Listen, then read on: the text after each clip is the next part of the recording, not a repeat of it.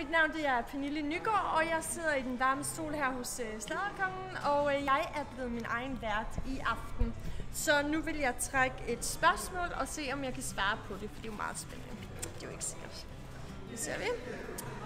Øhm, hvorfor er du med i X on the Beach? Ja, øhm, det er jeg, fordi at jeg synes, det er sjovt at tv, og Altså, X on the Beach, det er jo bare et program, hvor man ikke rigtig skal stikke hinanden i ryggen, hvor man bare kan hygge og have det sjovt, og ja, så det, der, derfor er jeg med. Skal jeg tage et nyt? Okay, jeg tager lidt. Ah, hvad Okay. Hvad skal en fyr gøre for at score jer? Jamen altså, pigerne inde i X on the Beach er jo meget krisende. Så øh, en fyr skal nok være... Øh, sød og sjov og charmerende, og ikke sådan en fyr, som er sådan, at jeg kan score alle, og jeg knipper hende, og man skal ikke kalde en fyr for, eller en pige for en luder. Det, det er nok det er no-go.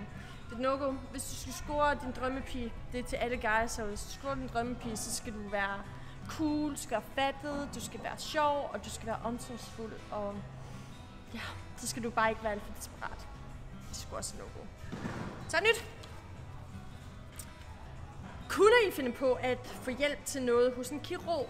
Uh, ja, altså, det kunne de fleste piger vel nok godt. Øh, fordi piger, de er jo selvkritiske nogle dage.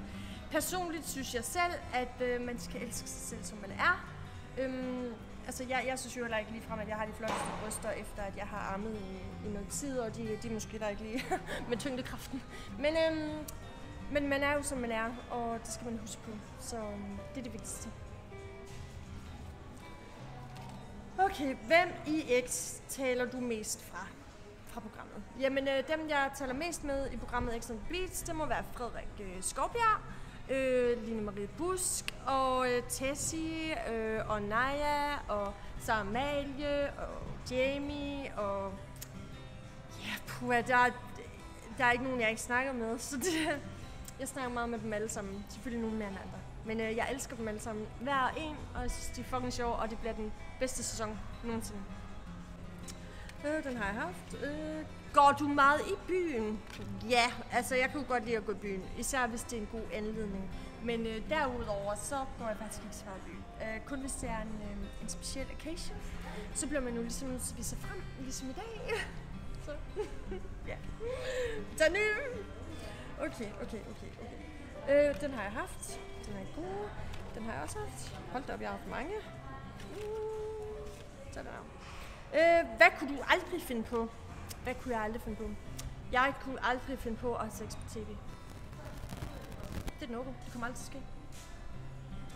Eller gør det? ja, det var det. Det var vist det for i dag. Tak. Husk at følge slaget kommer.